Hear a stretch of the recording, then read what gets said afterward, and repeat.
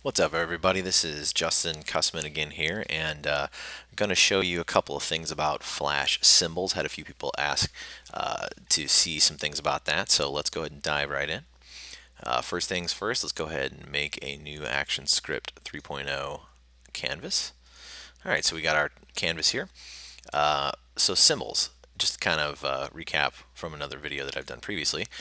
Three kinds of symbols, right? So let me go ahead and draw out an object and convert it to a symbol so we can talk about those. So remember, select your object, modify, convert to symbol. So three kinds of symbols here. We have button, movie clip, and graphic, and each one has its own unique properties that you have to kind of suss out uh, before you know how to use them and in what circumstance. So buttons I covered in kind of a previous uh, instance, a video here. So buttons, remember, are the ones you can create the definitive up, over, down, and hit states, and they're for interactivity. Uh, I want to cover movie clip and graphic a little bit more to give you the kind of lowdown on what you do with these. So let's start with graphic, uh, and these are pretty similar, honestly, but I'll, I want to break down some of the differences here. So let's do graphic. Uh, as I said previously, always name your symbols. That's really important. So I'm going to name this blue circle. Okay. So it's been converted to a graphic uh, after I click OK, and again you can tell because it's got the bounding box around it now. Alright, so a graphic is one of the animatable symbols, like, like I covered in the animation uh, tutorial. You can convert this uh, symbols and add keyframes, that kind of thing. Now, important thing with symbols in general. Uh, you can animate things uh, on the main level of the timeline with a symbol, right? So say for instance I go to frame 30 and I insert a frame right? And now I add my motion tween and click on frame 30, move my object, right? We've created some motion on the main timeline, right? Now, uh, symbols, if you go internally, if I double click this symbol, I am now inside, you can see this right up here in the top left, Scene one, I am inside the blue circles symbol. Okay, it's like a like a little Tupperware container. You open the lid and here's your contents inside. Now in here I can do all kinds of different stuff. For instance, I could select part of this symbol, change the color, okay, and this reflects externally. If I go back out to the main timeline, check it out. Okay, this is this has happened on this symbol. Now, important thing with symbols, why why this is is useful to know that you can change a symbol internally. If we go over to our library, okay, remember your library contains all the different things that you're going to make inside your composition, inside your, your, your scene. I can go over here and I can take this circle and I can drag a new instance of this circle to my stage. Okay. Now it says, do you want to replace the, the existing tween uh, targeted object? Now you don't want to do that on the same layer. So let me hit cancel on that real quick. And I'm going to start a new layer. And I'm going to drag this symbol out to that new layer. I have got another symbol. See? So now check it out. Now I've got two symbols. Now, since I've done this animation on my main timeline here, one of these is animated, one is not. But if you notice, they both have this green color. If I double click on this symbol over here and I change it to yet another color, say I go back to my properties and change this to orange, notice as I'm rolling over this, it is changing all of my symbols at the same time. So an instance of a symbol Okay, you can go internally and edit that, and then that, that instance will change all the way across the screen every time you do it. So say, for instance, these were like little snowflakes that were dropping down uh, the screen here, or, or water droplets. I could change one color instance, and all of them throughout my entire production would change, which is really handy. Okay, now let me delete, uh, I'll actually go ahead and leave this here just so you can see what I'm doing.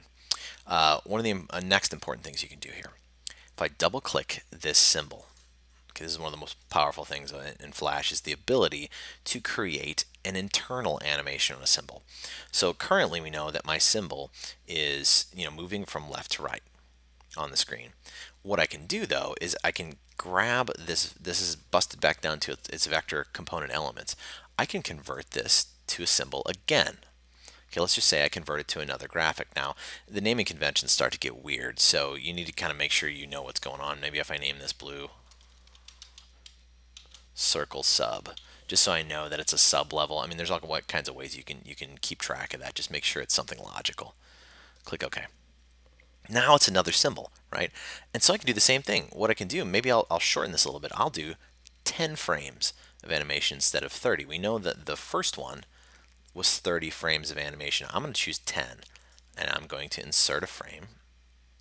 I'm going to create my motion tween and this time I'm just going to scale it. I'm going to click here and I'm going to scale my object up. Okay, now notice again, it does that for all the instances of this. If I go back out to my main level, scene one, and now I play a scrub, watch what happens. See? Now see, I did 10 frames of scaling, so every 10 frames, boom, resets back to, to zero. It loops internally. See? That's the thing. This thing loops internally. And if I test it, control or command enter, okay, this thing will loop okay over and over and over again because that's the that's the change that I made internally now here's really uh, and you can do this with with movie clips and graphics either way the same thing works they have internal timelines you can you can work with now I'm going to delete this one and I'm going to make a movie clip. I'm going to show you the main difference between movie clips and graphics. Let me make another, uh, let's do a box this time. This box is going to be my movie clip. Okay, we have a graphic up top and a movie clip. I'm going to make this one a movie clip. Let me double click this. Modify, convert to symbol, and I'm going to call this one, you know, brown square. Okay. Now, same thing as with the graphic. This one has an internal timeline. If I grab it, double click it, okay, it has an internal timeline, right? Different icon, little gear, okay? Let me go back out to the main level here. I'm going to do the same thing. I'm going to animate this thing. So let's uh, take our object, give it a motion tween, go to frame 30 here and move it. Okay, uh, same same type of thing. We have the same you know same type of motion going here, right? Okay, now I'm going to go internally, double click it. Again, scene one, inside my brown square movie clip. All right. So now this, I'm going to do the same thing. I'm going to convert this to a symbol. Okay, and again, you know, like brown, square, sub. Okay, so for sub level. All right, now this one I'm going to uh, create, again, another 10 frames of animation. Let me insert frame.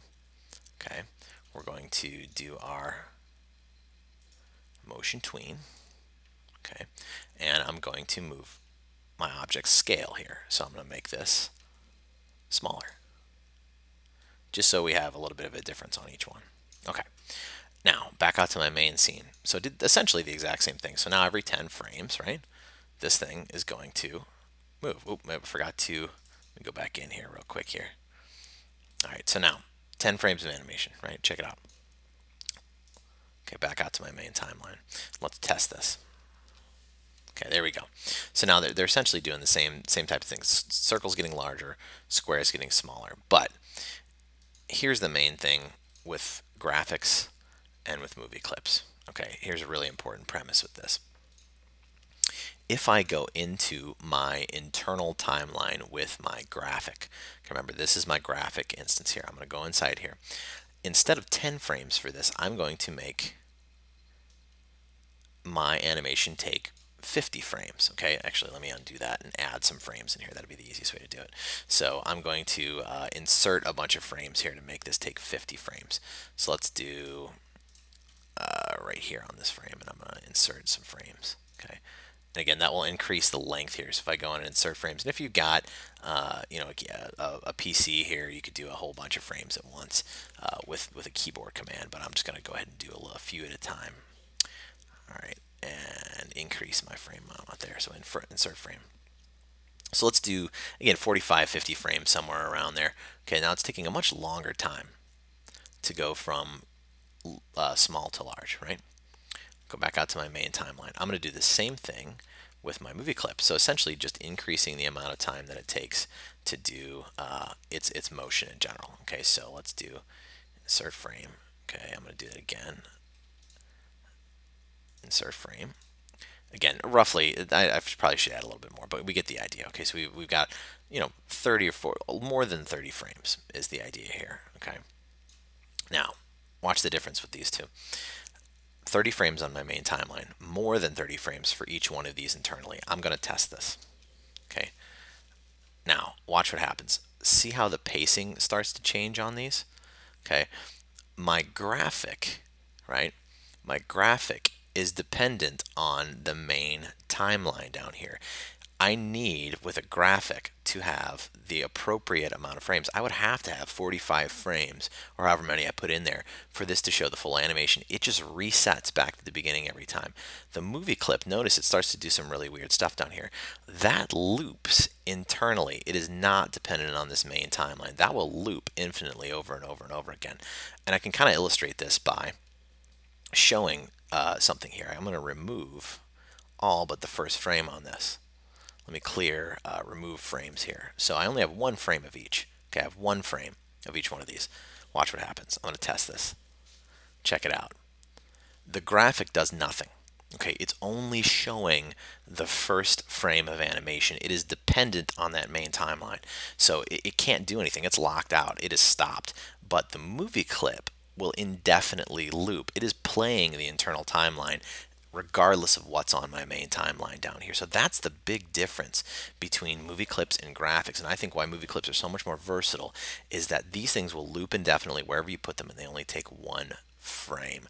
That's kind of the key here. So when you're when you're kind of figuring out what to create here, buttons are for interactivity graphics are usually the best idea with graphics are to use these for placeholder elements things on your timeline that are basically going to be static background elements. If you have headers things of that nature movie clips are really the best choice for animation. There's something you can use and it'll loop indefinitely uh, you, you can uh, basically create as many of these internally as you want and they will kind of take place all over the stage. Now uh, another kind of a note with this. Best for instancing movie clips are right? Check this out. I'm going to take this graphic. Okay, I'm going to leave it there. I got this movie clip. I'm going to create a new layer. Oop, wrong one there. Let me go back a notch. I'm going to make a new layer. And on this new layer, I'm going to add another instance of my movie clip. Now check it out what we got here. Each time we make one of these, it's in, it's internal on our timeline here. This this animation that I made for my brown square, right? Okay, that plays in my library. So I know which one I need to snag, the one with the little play button up here in the top left. I'm going to drag and drop this out here. Okay, brown square. Okay, so I've got two of the instances of these now.